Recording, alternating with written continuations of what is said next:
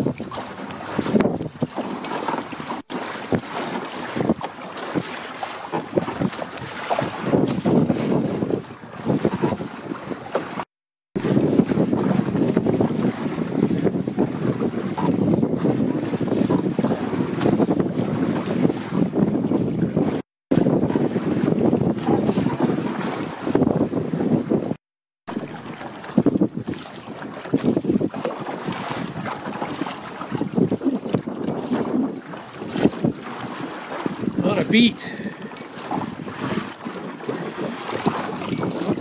Headed back to Sheffield Lake.